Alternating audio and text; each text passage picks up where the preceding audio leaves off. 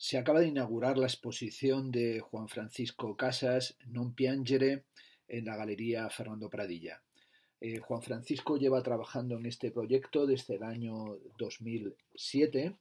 Ha sido un trabajo realmente enorme el que ha realizado eh, en torno a Artemisia Gentileschi, pero también fundamentalmente en torno al libro de Anavanti sobre Artemisia. Eh, un libro sobre el que además ha realizado una eh, escultura. En realidad es una escultura que rinde completo homenaje y que da una clave de lectura, nunca mejor dicho, para aproximarse a esta exposición, a estos dibujos, a estos cuadros que ha realizado. Bueno, eh, Juan Francisco Casas estuvo becado en la Academia de España en Roma y tal vez ese fue el punto de, arranque de este proyecto, de esta eh, obsesión por la obra de Artemisia, que es algo que lleva nada más y nada menos dándole vuelta a esta cuestión eh, casi década y media, es decir, empieza en el año 2007 y finalmente lo ha podido exponer en el año 2009. Eh, Se trata de una exposición que tendría que haberse inaugurado en el mes de abril y evidentemente, como todos sabemos, la circunstancia del estado de alarma y la cuarentena, el confinamiento por el COVID-19 ha llevado a que tenga que inaugurarse en este momento que llaman ya la desescalada o la vuelta a la llamada nueva normalidad. Y eh, esta es la primera de las exposiciones a la que yo acudo en este momento y ayer estábamos de inauguración todos con nuestras mascarillas y manteniendo esa eh, distancia que nos obligan los protocolos. Lo que es cierto es que el propio eh, Juan Francisco ha sabido aproximarse y también guardar las distancias en esta eh, exposición. Se trata de una lectura, de un desnudamiento y de un desvelamiento en el que en ningún momento me parece que entre a una situación de usurpación o de impostura de un discurso feminista, como si él fuera el, portavoz del feminismo, de las lecturas feministas en torno a Artemisia Gentileschi, habiendo hecho, como, de, eh, como es evidente, toda una serie de, lecturas y una penetración muy rigurosa en lo que es los estudios, la bibliografía, los desarrollos de las investigaciones en torno a eh, Artemisia. En el eh, catálogo que se acaba de eh, publicar hay una serie de, textos y de explicaciones de Juan Francisco Casas de cómo se ha realizado todo este trabajo, un ensayo de María von eh, Tuceda, eh, que se titula Non piangere o por qué la fortaleza nos ha secado las lágrimas y también un ensayo que yo mismo he escrito. Me gustaría empezar el comentario, que no va a ser muy extenso, de estas obras, de esta exposición y de este catálogo, precisamente a través del texto de María Fontuceda, en el que comienza diciendo que es curioso que el llamado sexo débil haya sido y sea el que mejor soporta el dolor, el que recibe las mayores afrentas, el más resiliente, el que lucha con ferocidad y el verdadero cabeza de familia. Eh, añadirá también María eh, una consideración que me parece eh, importante y es esta, dice Non piangere, el título de la exposición de Juan Francisco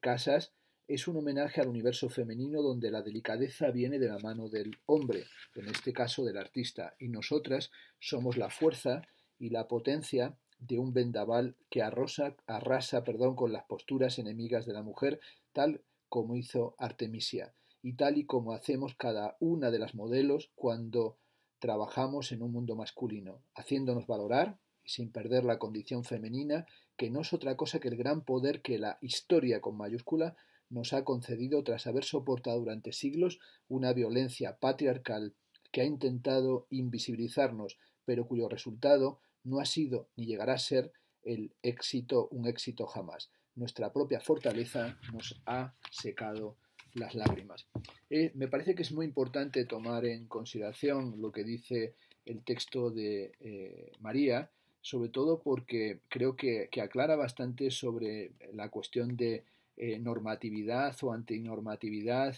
en los cuerpos eh, que están reflejados o que aparecen en las pinturas, en los dibujos y a lo largo de toda la obra de eh, Juan Francisco Casas, porque hay que tomar en cuenta que la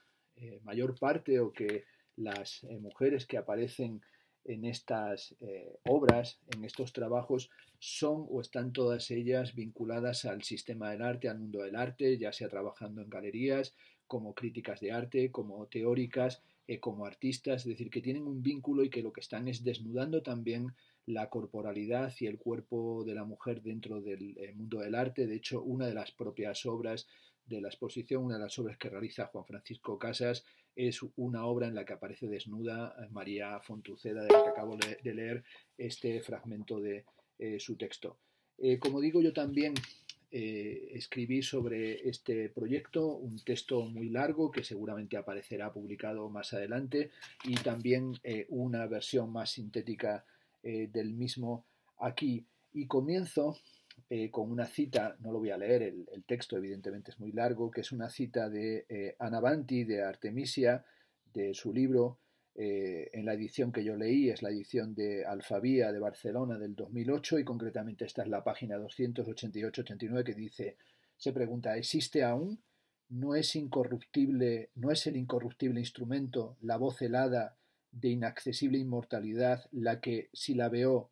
basta de lágrimas, esto es non piangere, más que voz es interior movimiento de piedad histórica sin alarma, sin ilusión ni congoja, clavada en el espacio y en el tiempo como una semilla infructuosa. Escucho un susurro sin frescura, la respiración polvorienta de siglos, la nuestra y la de Artemisia conjuntas. Bueno, toda la pasión carnal y todo el proceso de la obra de eh, Juan Francisco Casas, que ha tenido que ver siempre con el desnudo, con, el deseo, con el erotismo, con, la implicación eh, personal, pero también con el retrato, con el autorretrato, incluso con el selfie. Una de las imágenes que me parece importante es esta en la que aparece el eh, autorretrato pintando de Artemisia Gentileschi y a su vez las manos de eh, Juan Francisco realizando la fotografía con un teléfono móvil, con lo cual están ahí implicados eh, todos los procesos, eh, el de Artemisia, el de la revisión contemporánea, el del modo también de hacer esa versión dibujística y minuciosa, tal y como hace los dibujos con bolígrafo el propio Juan Francisco, pero también en el título que se llama A Double Destinity, Artemisa Artemisia Raquel After Susan Sontag, bueno, es también aquí he cometido yo como a veces el misreading, ¿no? Es decir, son eh, las, eh, las, manos de eh, Juan Francisco fotografiando y dibujando las manos de Raquel, la compañera con la que realizó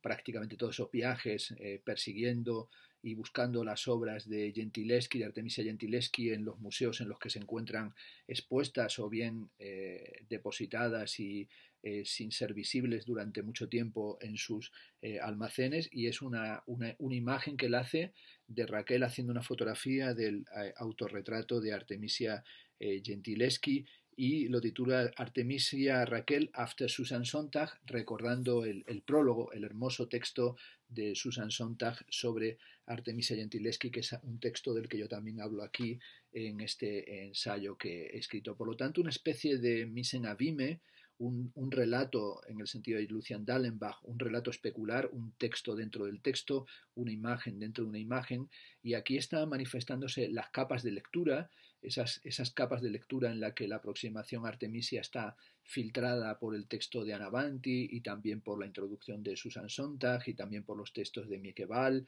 y también por todo lo que ha sido el material que se ha ido proponiendo de lectura en torno a esta figura que adquiere un carácter pionero, pero que también tiene que ver con esa necesidad de una revisión de lo no contado en la historia, que es de lo que hablaba o lo que aparecía en la cita que hacía del texto de María von Tuceda. Bueno, en la obra sobre todo de eh, Juan Francisco Casas, lo que se va manifestando es lo que llamaríamos un cociente revisionista en el sentido de la angustia de las influencias de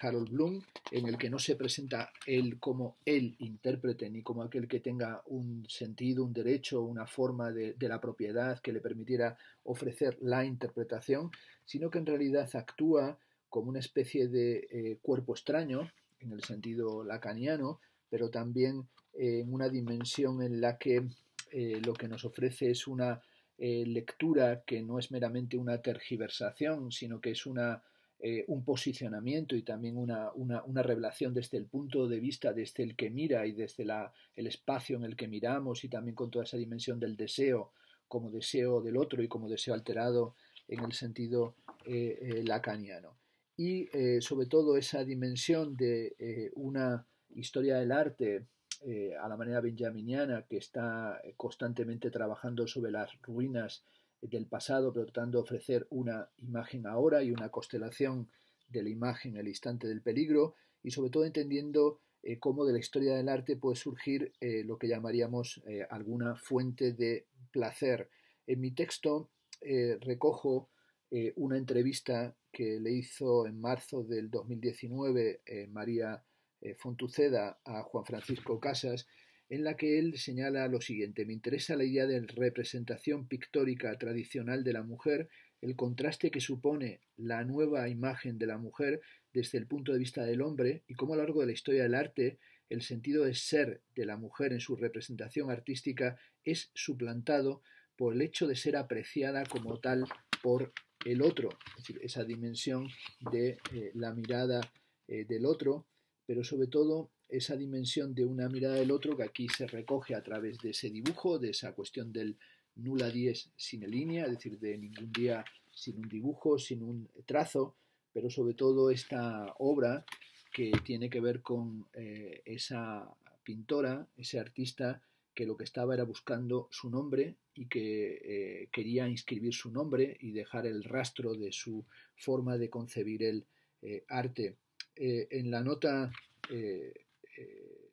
39, eh, eh, precisamente al final de mi texto, hablando de esa cuestión de la necesidad de contar que Artemisia Gentileschi había existido, Ana Banti dice lo siguiente, no importa haber sido mujer, muchas veces desaconsejada, dos veces traicionada, ya no hay más dudas. Un pintor ha tenido nombre y esa pintora que ha tenido un nombre no es otra que Artemisia Gentileschi. A este asunto, a esta cuestión, a este deseo del otro y a esta eh, meditación o esta apropiación, eh, apropiación que no impostura del trabajo de Artemisia Gentileschi, ha dedicado eh, pues casi como digo década y media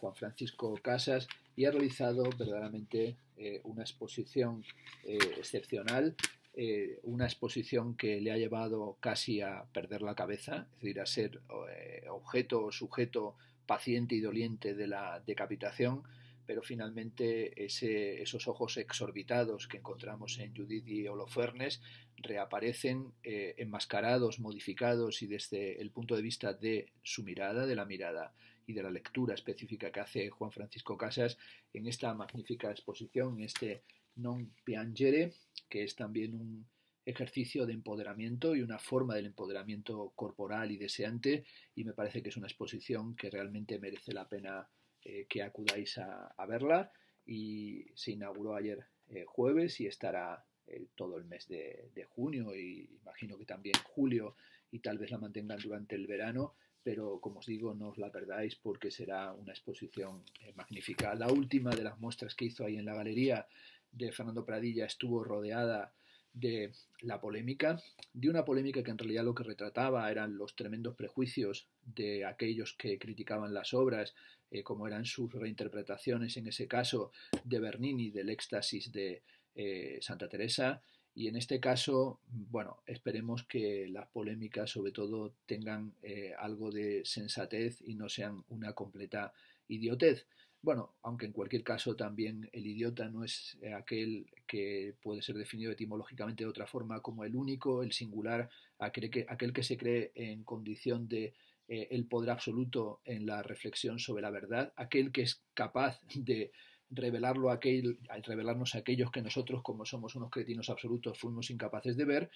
pero en cualquier caso también tenemos que decir que en ocasiones es bueno no mirar cara a cara, ni siquiera per especulum, sino saber eh, desde qué lugar escribimos, desde qué espacio hablamos y sobre todo tratar de reflexionar, como hace yo creo que admirablemente la obra de Juan Francisco Casas, sobre qué tipo de mirada y también qué tipo de mirada masculina eh, se hace cuando uno quiere dar cuenta del deseo y sobre todo cuando uno quiere poner en escena la, el cuerpo, el deseo y las pasiones del otro, sin en ningún caso eh, tratar de hablar por boca de otro ni plantear esa especie de imposición que se llama sencillamente impostura. Como digo, una exposición excelente y también yo creo que un catálogo muy bien eh, realizado y con unos textos que os animo a que leáis y también a que discutáis y por supuesto a que discrepéis si pensáis que tal cosa tiene que hacerse.